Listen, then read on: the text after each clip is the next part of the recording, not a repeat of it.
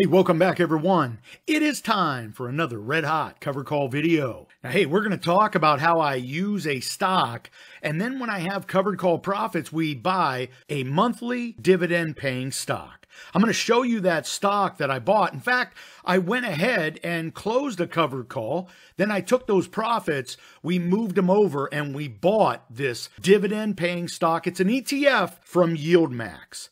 So I know there's a lot of people out there with different opinions of the Yield Max ETFs.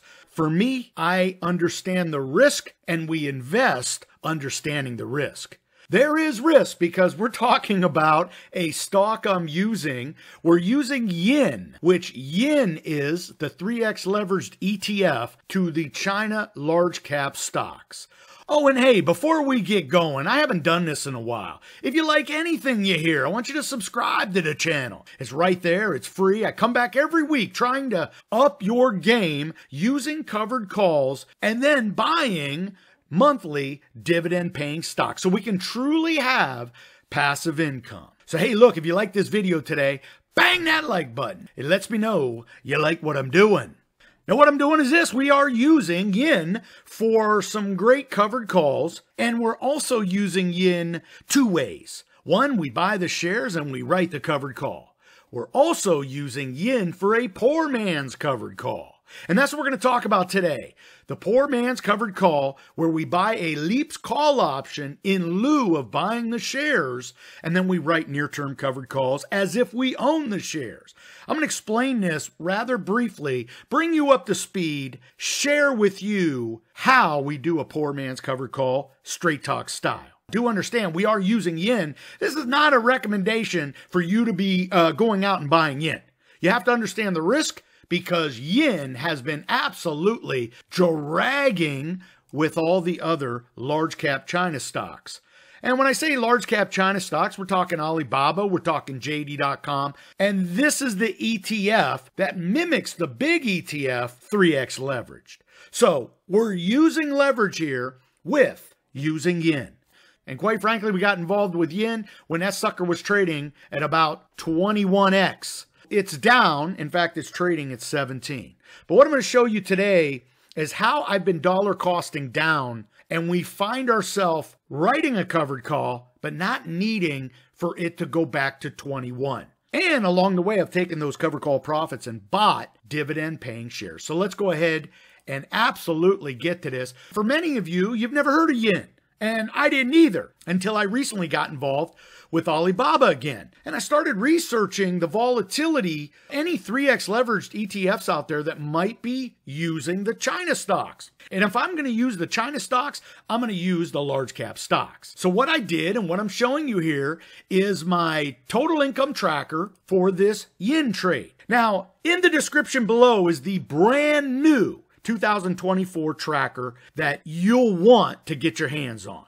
It includes all of these individual trackers and calculators to help us determine when we're profitable. And we're going to be using one right here at the top. Where will my leaps call option be priced if I place this covered call? The covered call that I'm going to write that maybe closes this trade profitable.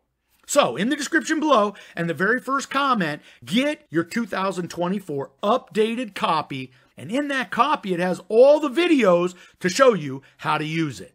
When Yin was trading, I went ahead and bought the $15 Leaps call option to support the near term cover calls I'm going to be writing. I went out and bought the right, but not the obligation to take somebody's shares away from them at 15. And now, with that paper in hand, I'm able to buy somebody's shares for 15. I have until April 2024 to make that decision to buy their shares at 15. I can go out now and write near term covered calls. And that's what I did. I paid $6.40 for that right, and now I'm going to use it to write near term covered calls. And we bought 10 of them. And now I have leverage of 1,000 shares. So what I did is I wrote my very first covered call, and uh, quite frankly, you could see it right here. We went ahead and did it when the stock was trading at 1910. We picked the 2050 strike because remember, the stock was trading at $20.04. So all I have to do is have my shares taken away at 2004 or above. My Leaps call option is going to be worth exactly what I paid. And of course, we pick up those fat premiums, and the cash on cash percentage gain is going to be based on $6,400, and we're going to be knocking it down time and time again. Well, Yin plays nice for the first couple trades, and you can see that right here. With me being in at 2004 anything near 2004, I'm okay because I can write these 21 strikes or 2050 or $20 strikes and I'm still going to make money. Well, this is where yin decides not to play nice and recently it's fallen. In fact, it's now trading for 17 bucks. Went ahead and we're going to double down. In fact, I tripled down. What I've decided to do is we're going to dollar cost average our leaps call options down, and we're going to then use those leaps call options to make more covered call premiums, and we're going to run the calculator to see where I need to pick my strike price. That's why the calculator's so important. That's exactly what I did here. So with 30 leaps call options or controlling 3,000 shares, I then dialed up what a covered call would pay and where I can get out. So as you can notice, with the Leaps call option trading at four bucks now, notice here I dollar cost average down. I bought 10 at 470. I bought another 10 at 4. We have dollar cost average to where my new Leaps call option price cost basis is $5.03. So okay, with that knowledge in hand, we're now going to find a strike price for which we can use to write a covered call. And that's exactly what I did with the Leaps call option trading at $4. The stock trading at $17 and one penny. We picked the 19 strike, and you can see with the 82 delta, which these are, the stock move from $17 and one penny to 19 will be $1.99. Well, my Leaps call options from the $4 will move $1.63.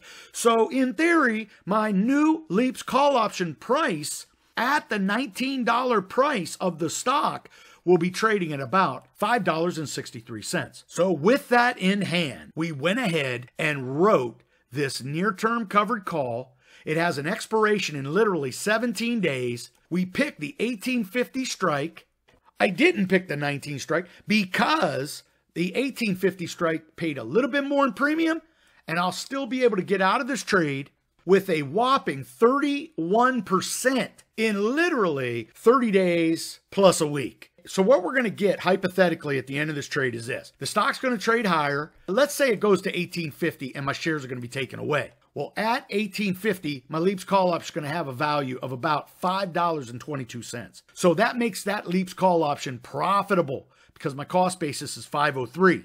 And with all the near-term covered calls I've written, this is what it looks like on the top side. I'm going to make some $4,100 on all the cover calls I've written. I'm only going to make a mere $560 on my Leaps call options because I have dollar costed down and of course, the total cash out will be right around $4,700 or 31% cash on cash in about 40 days. So that's how we're generating all that near term covered call profit in about 40 days, man. That's 4,100 whopping dollars for the risk. Remember, I talked about the risk at the beginning of this trade? Well, I know the risk and I'm using the risk. And the risk uh, equals more reward. So we're generating some $4,700 in a mere 40 days. Now, what I'm going to do, because I want to retire on dividends, monthly dividends, I went ahead and bought this YieldMax ETF that pays a monthly dividend. And in this case, we're going with the PayPal ETF, which is PYPY. This is a YieldMax ETF for which their recent payouts have been 62 cents, 51 cents, and 56 cents. What the YieldMax ETFs do is they essentially use a stock, they take a long position with a call, and they buy a short position, which simulates stock ownership, and then they write near term covered calls for income. And they also have some treasury notes in there to create a hedge. The YieldMax ETFs will use stocks in lieu of owning the shares, they'll use stocks. And what they do is they write and sell call options and put options against them to generate that fat near term monthly dividend yield. And I have Tesla's version and Coinbase's version. I also have a couple others, but I've decided to put all this money Now into the PayPal version. We used a 3x leveraged ETF in yin. There's risk behind it, but we're using an index, the large cap stock index of all the China stocks that are the biggest. We use the Leaps call option so we can have a little more cash on cash return. Then we take the cash that we earned and we're dropping it into YieldMax ETFs that pay higher returns than most. And again, we understand the risk and we understand how the YieldMax ETFs generate their fat, juicy monthly dividends. I'm not a fool, right? I'm not a fool. I've been doing this for years. I understand the bigger the dividend, most people think the more risk. That's not true. That might be true with a company. That's not necessarily true with closed end funds and ETFs that pay monthly dividends. It's all about how they generate their dividend. See, they could pay $10 a month per share, but if the way they generate the dividend is sound and it's that profitable, just looking at a $10 dividend doesn't mean it's scary or risky. The YieldMax ETFs use a particular stock to generate the dividend. And in this case, we pick PayPal. So what we did is we went out and bought shares of this PayPal Yield Max ETF, and we've been picking up along the way buying the shares. So they're going to pay every single month, and that's a dividend tree. That is taking covered call profits, moving them into an ETF or a closed-end fund that generates monthly dividend income, passive income, and we're creating our dividend tree. Right? That dividend tree that monthly bears the fruit. What I'm going to tell you is this using the cover call strategy, you can beat the stock market's performance hand over fist. That's a beautiful thing in itself. Then taking the cover call premiums and moving them into dividend paying stocks, like I just mentioned, then they produce a monthly dividend for which is passive income. We take a semi passive investment idea in buying a stock, writing a covered call, then creating a passive income idea where we buy a stock and we never have to look at it again for the most part and it generates cash flow month over month.